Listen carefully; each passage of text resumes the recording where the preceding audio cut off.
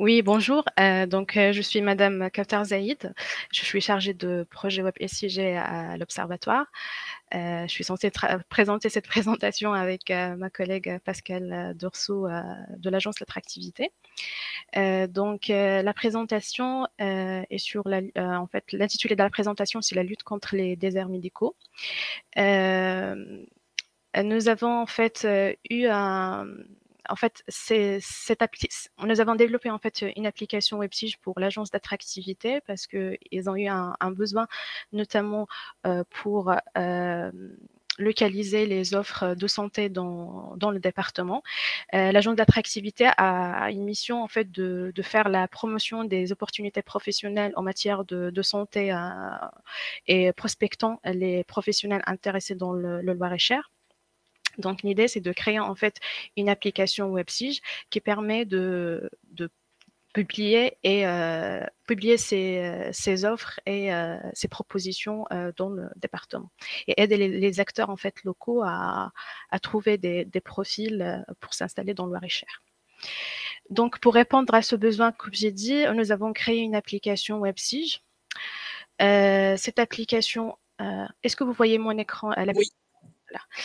Euh, cette application, en fait, l'accès à cette application se fait via le, site de l'agence d'attractivité euh, au Loir-et-Cher. Euh,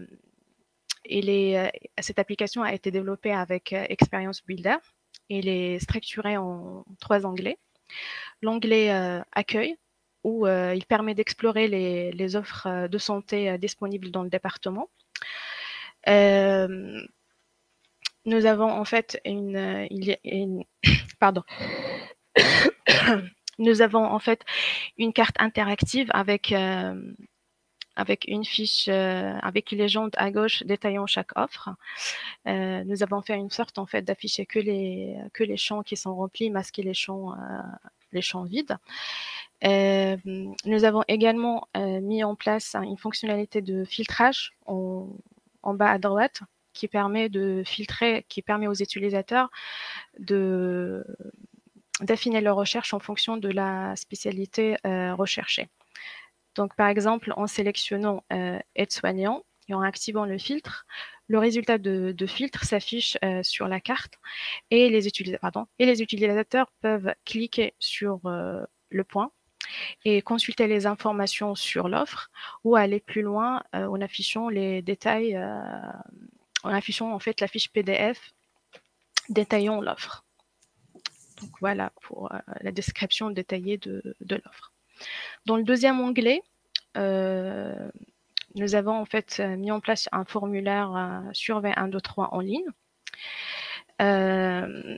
qui permet en fait aux acteurs de santé de publier leur offre euh, il s'agit d'un formulaire qu'on a développé voilà, sur, sur V123 en ligne euh, dans Arcus Online, avec euh, un ensemble de questions qu'on a définies avec l'agence d'attractivité, à savoir la spécialité recherchée, le nom de la structure, l'adresse, la description du poste et quelques autres informations sur les projets en cours et, et le mode d'exercice.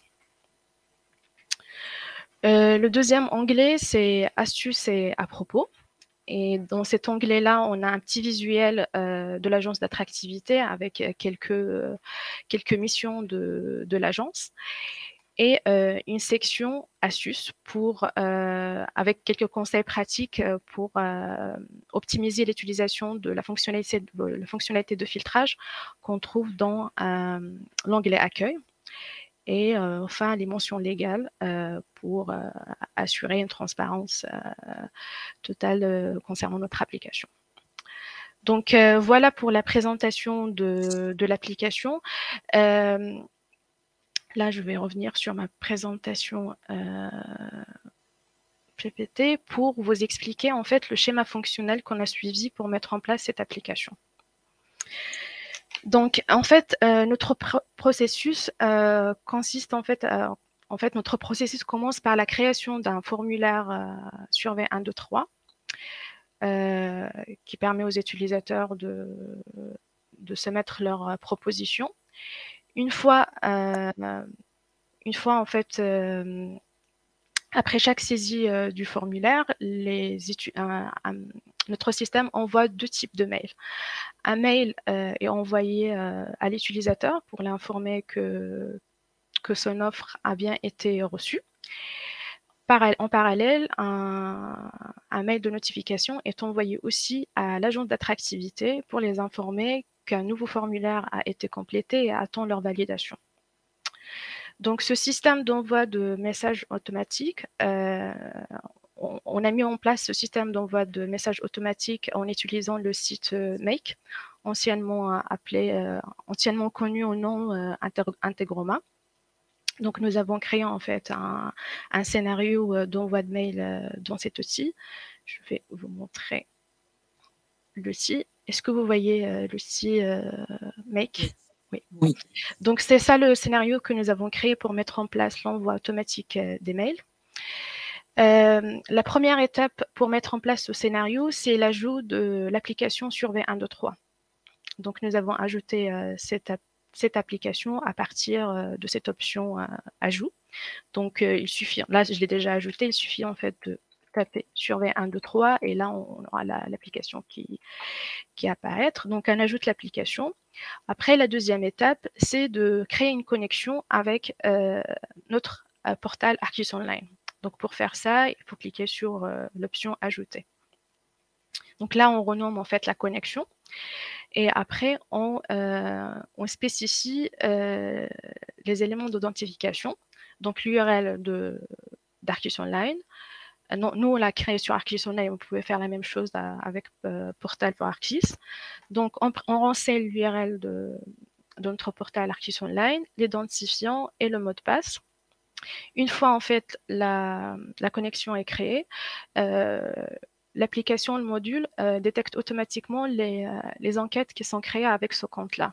Dans notre cas, c'est l'enquête euh, formulaire d'offre.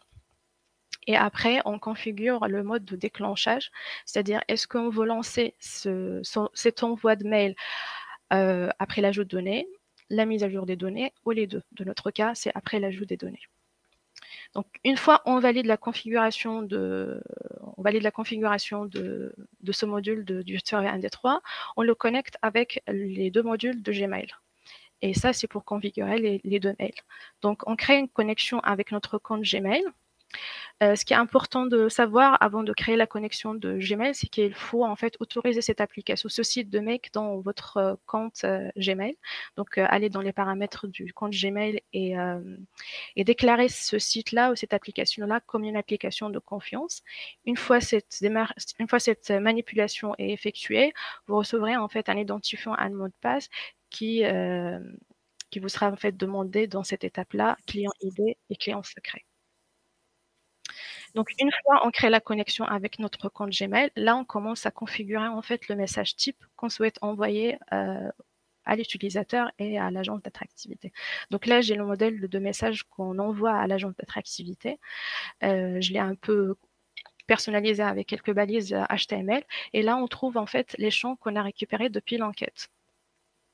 Donc l'agence d'attractivité, quand elle reçoit le message, elle reçoit ce message-là avec quelques informations qui leur permettent de se repérer sur la carte, notamment pour savoir il s'agit de quelle offre.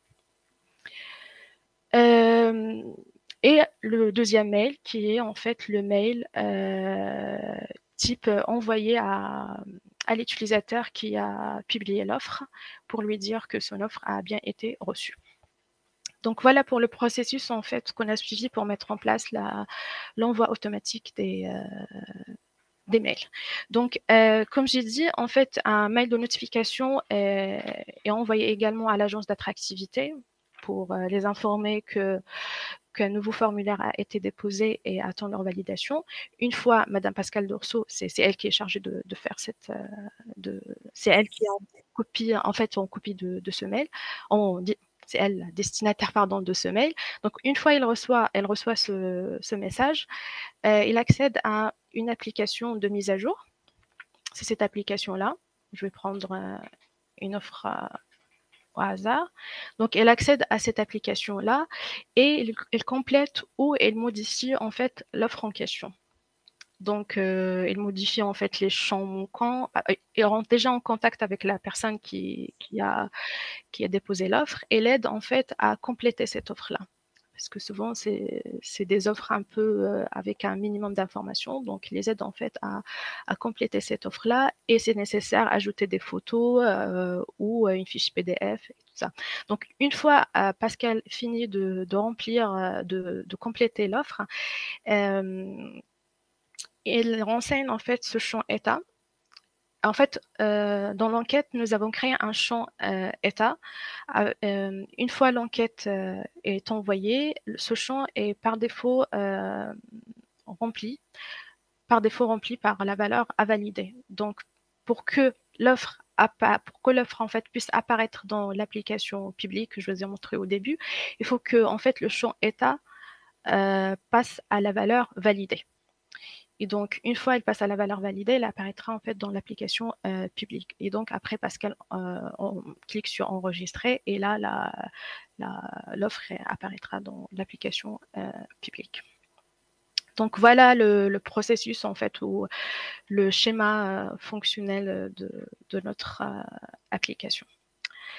Euh, dans le même euh, contexte, euh, nous avons mis en place aussi une autre application similaire à la première, et c'est là en fait c'est plus pour localiser les professionnels de santé dans notre département. Et donc là, par défaut, vous voyez qu'on a pas mal, on a une légende qui contient un ensemble de professionnels de santé. Là, il y a les médecins euh, généralistes qui s'affichent euh, par défaut sur la carte. Et on voit ici, les, c'est, euh, les points en bleu. Et, et, la taille, en fait, des, de ces points est proportionnelle au nombre des médecins qui se trouvent dans, dans chaque zone.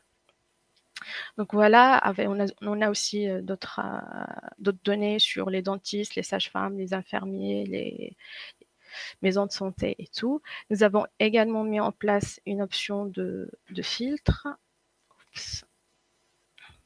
pour euh, filtrer en fait ces médecins généralistes euh, par OPCI ou par commune ou filtrer carrément du type, en fait, filtrer sur le type de médecin généraliste. Euh... Hop.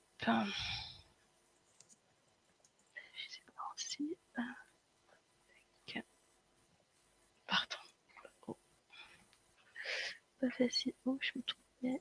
Excusez-moi, mais j'ai pas trouvé là.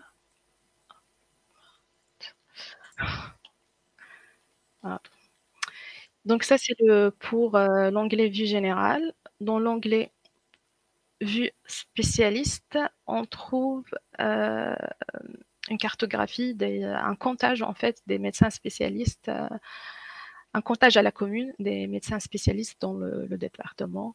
Et dans le troisième onglet, c'est euh, les chiffres clés de notre département. Donc voilà pour les deux applications. Désolée, mais, euh, mais, ma collègue a prévu euh, d'expliquer plus en fait euh, le contexte et les objectifs de cette application. Et il a eu un, souci technique. Que voilà pour moi. Je ne sais pas s'il y a des questions. Merci beaucoup, Madame Zaïd. À présent, votre écran est partagé à l'infini, donc ça ne peut être Hop. Voilà, c'est mieux. ok. Ok, je ne sais pas si vous avez des questions pour l'instant. On n'en a pas dans l'onglet questions. Mhm. Ça a été clair. Je suis encore euh, désolée pour euh, vous avoir fait attendre. Et puis euh, pour cette présentation qui du coup n'est pas complète. Mhm. Voilà, on vous remercie. Merci. Désolée encore pour le problème technique. S'il y a des questions, on a encore un peu de temps si vous voulez. Non. Il n'y a pas de questions. Voilà, les gens vous remercient. rien. ok. Bah, merci à vous. Merci d'avoir participé. Merci euh, pour votre patience. Euh, et puis, bonne conférence. Merci à vous et bonne journée à vous. Au revoir. Merci, bonne journée. Au revoir.